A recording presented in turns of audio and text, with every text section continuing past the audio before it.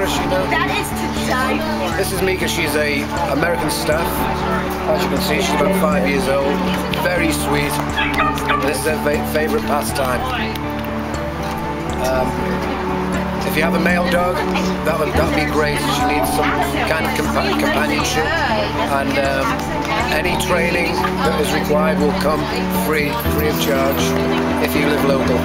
So we need somebody strong, somebody that understands this kind of breed, and um, the rescue group will be forever grateful for that person. My knee. Generally, it's five. Ready?